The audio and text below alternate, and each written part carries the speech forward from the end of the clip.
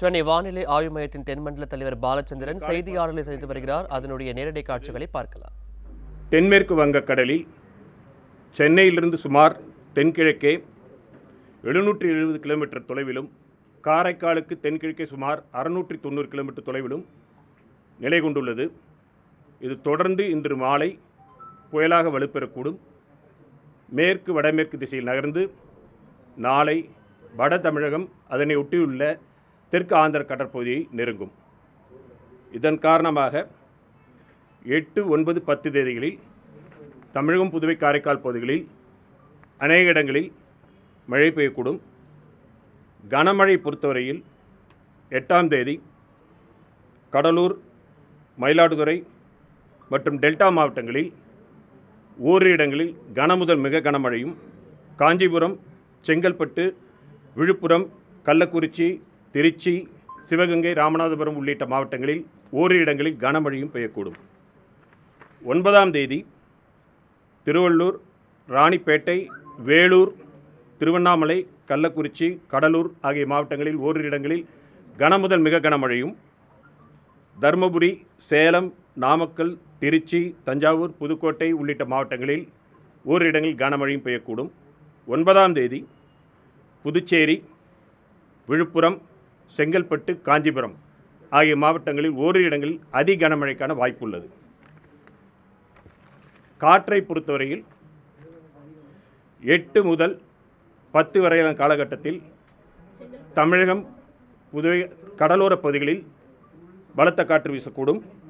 எட்டாம் தேதி மாலை முதல் ஒன்பதாம் தேதி மாலை வரையிலான காலகட்டத்தில் வட தமிழக கடலோரப் பகுதிகளில் பலத்த காற்றானது மணிக்கு ஐம்பது முதல் அறுபது கிலோமீட்டர் வேகத்திலும் ஒன்பதாம் தேதி மாலை முதல் பத்தாம் தேதி வ- காலை வரையிலான காலகட்டத்தில் மணிக்கு எழுபது முதல் எண்பது கிலோமீட்டர் வேகத்திலும் வீசக்கூடும்.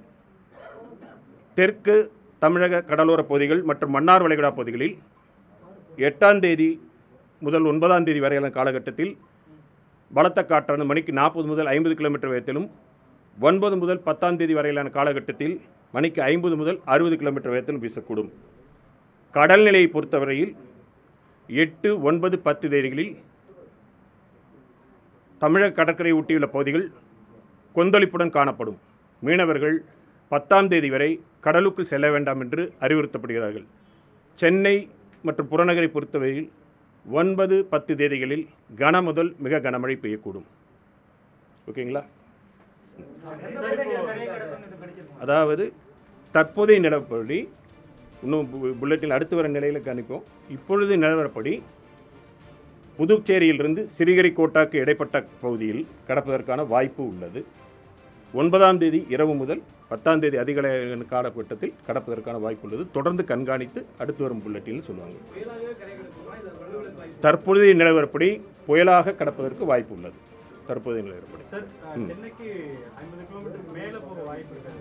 இப்பொழுது நிலவரப்படி அதான் சொல்லியிருக்கோம் வட தமிழ் கடலோர தமிழக பகுதிகளில் உள்ள காற்று இதுக்குன்னு கடலோர பகுதியில் உள்ள காற்றுகள் வட தமிழக பகுதிகளுக்கு எட்டாம் தேதி ஒன்பதாம் தேதிக்கு எட்டாம் தேதி மாலை முதல் ஒன்பதாம் தேதி மாலை வரையிலான காலகட்டத்தில் ஐம்பது முதல் அறுபது கிலோமீட்டர் வேகத்தில் சமயங்களில் எழுபது கிலோமீட்டர் வேகத்தில் வீசக்கூடும். ஒன்பதாம் தேதி மாலை முதல் பத்தாம் தேதி காலை வரையிலான காலகட்டத்தில் எழுபது முதல் எண்பது கிலோமீட்டர் வேகத்திலும் சமயங்களில் தொண்ணூறு கிலோமீட்டர் வேகத்திலும் வீசக்கூடும். ஓகே இதுதான் நிலைமை. ஓகே. ம். ம். ம். ஒரு புயல் என்பது மூன்று அதற்கு இன்ட்ராக்ஷன்ஸ் என்பது கீழே சி சர்ஃபேஸ் கடலோட ஒரு இன்ட்ராக்ஷன் சுற்றிலும் என்விரான்மெண்ட்டோட ஒரு இன்ட்ராக்ஷன் மேல் பகுதியில் ஒரு இன்ட்ராக்ஷன் மூன்றையும் பொறுத்து நிலை. ஒவ்வொரு சிஸ்டத்தும் ஒரு மாதிரி இருக்கும். அது தொடர்ந்து கண்காணித்து கொண்டு தெரிவிக்கப்படும். இதுவரை நமக்கு இருக்கக்கூடிய தற்போதைய நிலவரப்படி இதுதான் சுச்சுவேஷன் இதுதான் நம்ம இது பண்ணுறோம் எதிர்பார்க்கிறோம். ரெட் அலர்ட் காற்று மல்டி ஹசார்ட் பாயிண்ட் ஆஃப் வியூவில் நம்ம காற்றுக்கும் மழையும் சேர்ந்து தான் அந்த ஒன்பதாம் தேதி அதிகான மழைக்கான இது கொடுத்துருக்குறோம் நம்ம. நான்கு டிஸ்ட்ரிக்ட் கொடுத்துருக்கோம். அதை தவிர காற்றுக்கான இதுவும் கொடுக்கும் பொழுது கடலோர மாவட்டங்களுக்கு நம்ம கொடுத்துருக்குறோம். மல்டி ஹசார்ட் பாயிண்ட் ஆஃப் அதிக கன முதல் மிக கனமழைக்கு வாய் கொடுத்துருக்கோம். மழை பெய்யக்கூடும். அதிக கனமழைக்கான வாய்ப்பு என்பது இப்பொழுது இல்லை. பார்ப்போம். கணித்து பார்க்கும்பொழுது ஓகேங்க ரெயின் டிஸ்ட்ரிக்ட்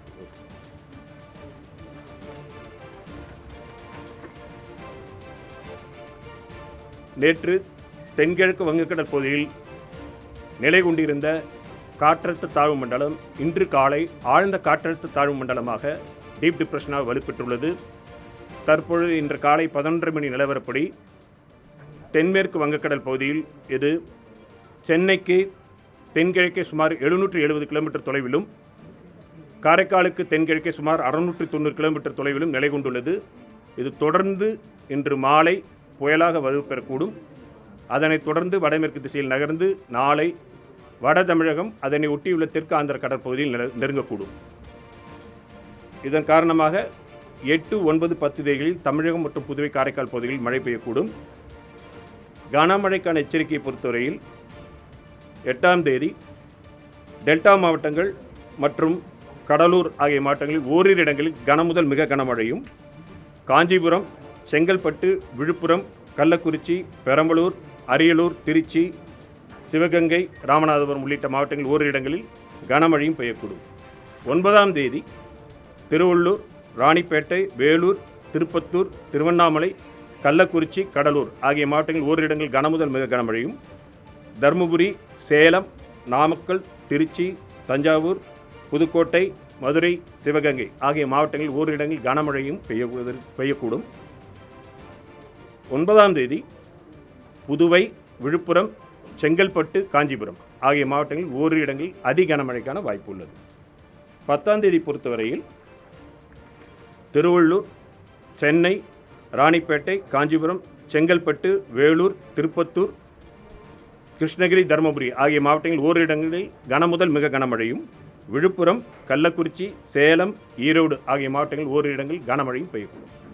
ஓகே ஓகே இன்னும் புயல் உருவாகவில்லை. புயலாக உருவான? மேண்டோஸ் எம்ஏஎன் டிஓயுஎஸ் இதுதான் வருது. மேண்டோஸ்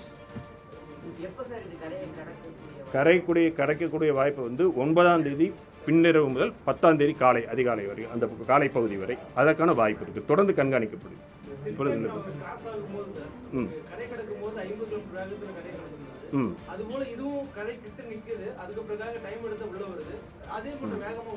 ஒரு சிஸ்டத்தோட இன்னொரு சிஸ்டத்தை நான் சொல்கிற மாதிரி சித்திரங் புயல் கடந்த பகுதி வேறு இது கடக்குன்ற பகுதி வேறு.